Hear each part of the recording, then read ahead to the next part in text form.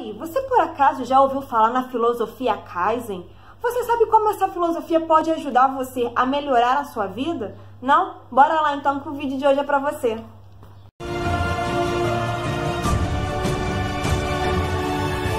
Olá, meus amores! Sejam muito bem-vindos a este canal. Este é o Livros em Prática. Eu me chamo Lídia, é uma honra imensa ter você aqui. Antes de tudo, por favor, não esqueça de se inscrever, curtir, comentar e compartilhar com os outros, ok? Bora lá então. Hoje o tema do vídeo de hoje é sobre a filosofia Kaizen. Sim, se assim como eu você também não sabe do que se trata, vamos aprender. O que, que é isso? É sobre usar pequenas ações e contribuições para causando grandes transformações em sua vida em áreas que requerem melhorias. Mas como? Que ações seriam essas? Seriam as mudanças e transformações dos hábitos que você tem hoje, pois os hábitos que você tem hoje influencia enormemente na qualidade de vida que você tem. Ó, vou até deixar aqui ó, o link do vídeo que eu falei sobre qualidade de vida em relação aos hábitos, ok? Com isso, o que, que a gente vai fazer hoje? A gente vai, vou dar 10 dicas para você em relação ao Kaizen. Eu vou até usar minha colinha aqui, ó, gente, porque senão eu esqueço. Eu não consigo. Sinto muito, mas vamos com colinha. Dica número 1. Um, continue sempre aprendendo. Eu acho que é até bobagem, acho que eu já falei isso aqui algumas vezes no, aqui no canal, mas é essencial que você esteja em eterno aprendizado, que você aprenda continuamente, ok? Dica número 2. Encontre diversos meios para alcançar o resultado. O que é isso? Vou dar um exemplo. Você precisa nesse exato momento juntar 5 mil reais. Você trabalha, mas que outras formas você poderia juntar esse dinheiro mais rápido? Será que você poderia prestar um serviço a alguém? Será que você poderia vender coisas que estão dentro da sua casa parada? É isso que o autor quer dizer com encontrar outros meios. Terceira dica é elimine desculpas. Quem conhece o Pablo Marçal já deve na hora ter lembrado dessa frase em que ele diz: Uma pessoa que é boa em dar desculpas não é boa em mais nada. Ui, sim, dói, né? Então, pare hoje mesmo de é, dar desculpas e assuma total responsabilidade pelo que acontece na sua vida, ok? Próxima dica é a dica número 4. Não desista e nunca se esforce pela perfeição. O não desistir é o seguinte, às vezes a gente desanima, mas quando você desiste, você está abrindo mão daquilo que você quer. E por que nunca buscar pela perfeição?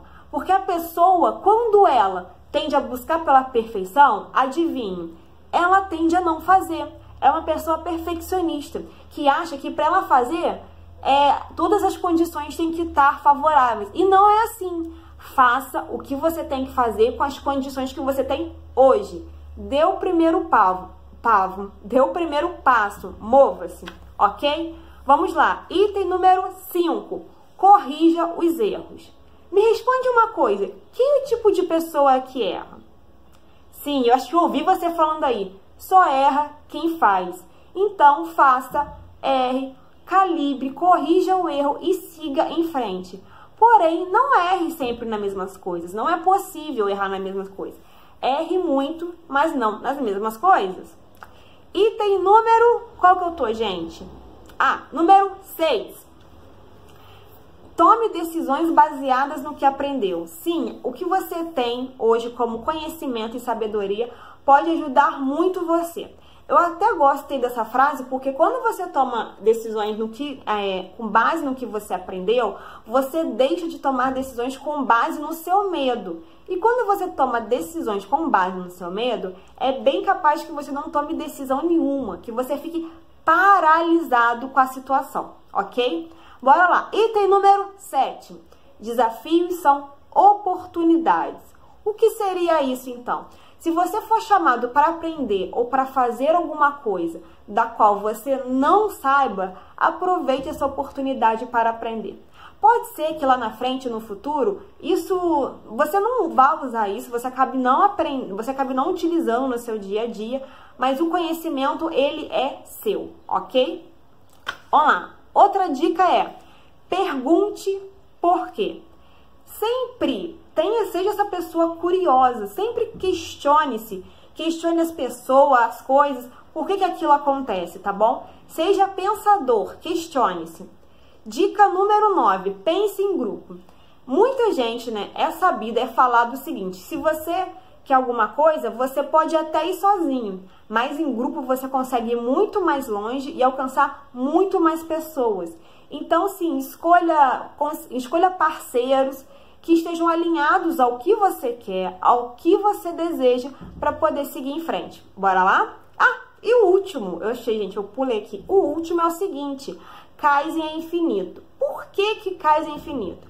Porque ele pressupõe o seguinte: enquanto você tiver áreas para melhoria, você sempre pode aplicar essas dicas em sua vida. Ou seja, como a gente está em constante melhoria, então o Kaizen vai ser sempre importante para a gente, ele sempre vai ter efeito para a gente. Então, qual que é a tarefa de hoje baseada nessas dicas? Você vai me falar aqui embaixo qual a área que a partir de hoje você vai parar de dar desculpas e você vai modificar os hábitos em relação a essa área. E me diz aqui, essas dicas aqui foram úteis para você? Você quer mais vídeos assim? Comenta aqui embaixo também. Gente, beijo para vocês. Não sei se vocês sabem, mas eu tenho um Instagram, ele aparece aqui, se eu não me engano. Vai lá também, eu coloco muito, eu coloco frases, coaches, insights. Também produzo algum outros tipos de vídeo lá, então bora lá então, gente. Beijo no coração de vocês, até o próximo vídeo. Tchau!